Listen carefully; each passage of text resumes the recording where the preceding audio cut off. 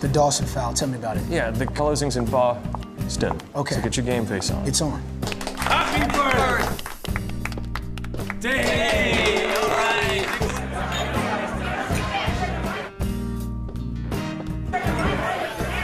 Guys never change.